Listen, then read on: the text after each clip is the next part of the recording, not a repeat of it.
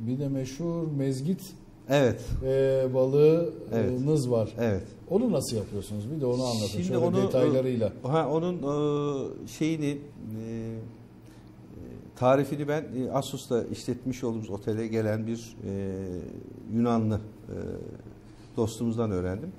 E, Derince bir kabın içerisine e, önce zeytinyağımız ki buranın doğal zeytinyağı, e, beyaz şarap O da buranın. buranın, e, sarımsak, e, yumurtanın e, Sarısı. sarısı, e, nane, e, karabiber ve mutlaka karbonat koyuyoruz ve e, birbirine geçene kadar İyice çırpıyorsunuz. iyice çırpıyoruz.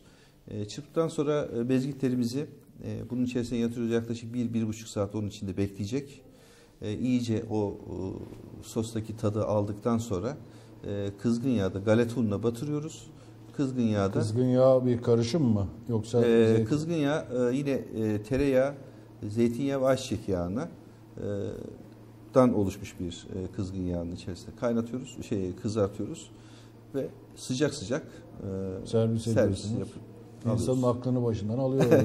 Güzel, gerçekten lezzetli. Özellikle salt mezgit değil, bunun dışında işte e, mezgit ailesinden diğer balıklara da bu uygulanabiliyor filato olarak. Yani bir sürü balığa bir sürü balığa değil uygulanabilir. Hatta levreğin tadını bozmasa bile levrekle de Evet. Levrekte de benzer bir sosu levrekte de kullan kullanabiliyoruz. Yine sarımsak, zeytinyağı, beyaz şarap içerisine yatırıp ızgarada e, levreyi de yapıp yapıyoruz burada.